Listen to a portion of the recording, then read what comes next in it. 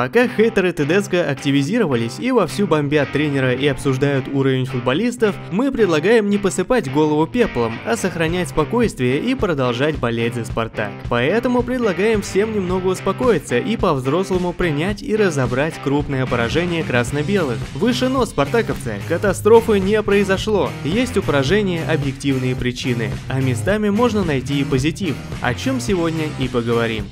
Перед тем, как продолжить, хотим поздравить тренера-чемпиона Массимо Карреру с тем, что он встал у руля греческого Аяка. Хотим от всей широкой спартаковской души пожелать мистеру удачи и титулов.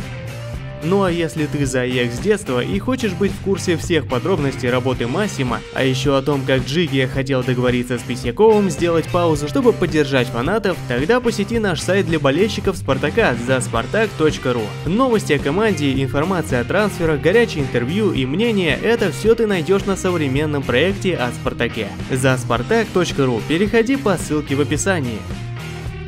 Потеря двух основных центральных защитников, коими и Жиго и Кутепов при ТДСК являются, не могла положительно отразиться на игре красно-белых в матче с Ростовом. Перед главным тренером стоял непростой выбор – выпустить в пару Джики молодого Гапонова или же надежного Крала, который номинальным защитником априори не является.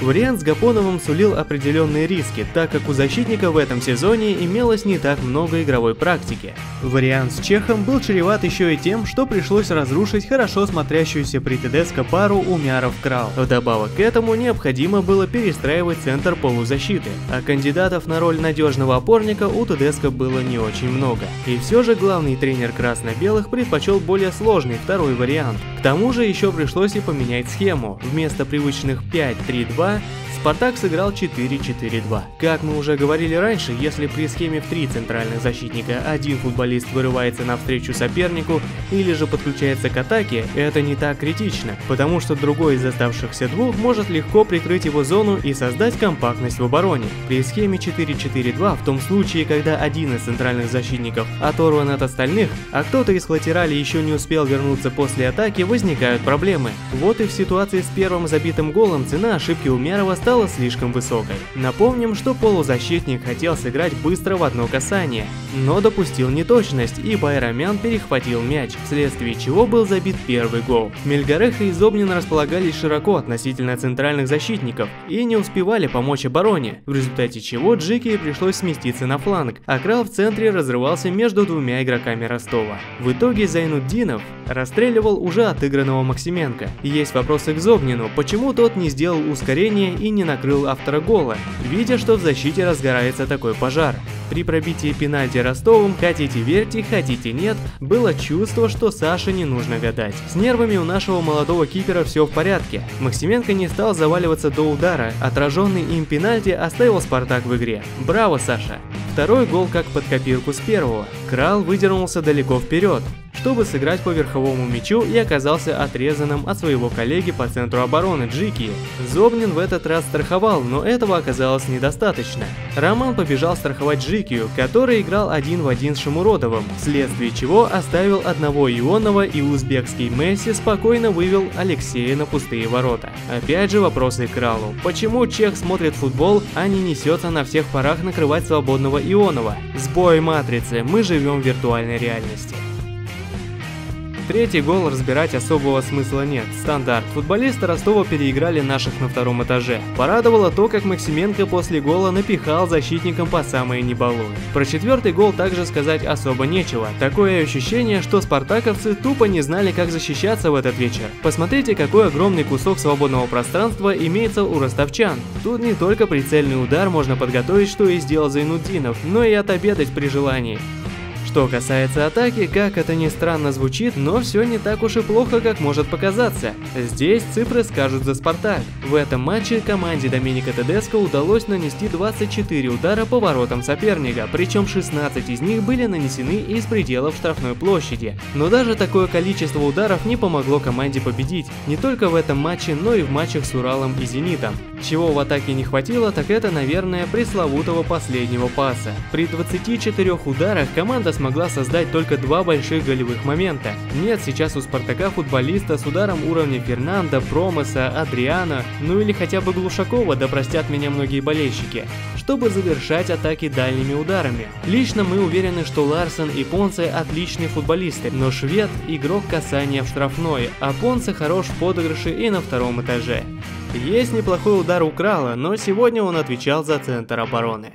Поэтому тут Тедеско предстоит хорошо подумать и решить задачу, как конвертировать подходы к штрафной в забитые мячи при том подборе исполнителей, что у него есть. Отметим и то, что красно-белым удается проводить хорошие вторые таймы, а вот в таймах первых пока есть проблемы, особенно когда соперник пытается душить высоким прессингом. В этом случае Спартак имеет сложности с выходом из обороны в атаку. Пока от этого прессинга Тедеско не нашел лекарства. Один гол все же красно-белые смогли забить, но сделать это удалось довольно поздно при счете 0-3. Гол был забит не без помощи Салтмурода Бакаева, который вышел на замену вместо Мирзова. И надо отметить, Бакаев-младший очень достойно выглядел. Будем надеяться, что он еще скажет о себе после зимней паузы. Спартаковцы, а что скажете вы? Как вам игра Салтмурода? Мы не поддаемся истерике из-за крупного поражения. Не стал впадать в панику и главный тренер красно-белых Доменика Тедеско, которому на послематчевой пресс-конференции предстояло отстаивать честь команды. На провокационный вопрос журналиста, который требовал назвать виновных в поражении, Доменика ответил так, что его ответ, пожалуй, подвел итог этого матча и поставил точку в вопросе о дальнейшем движении и развитии команды.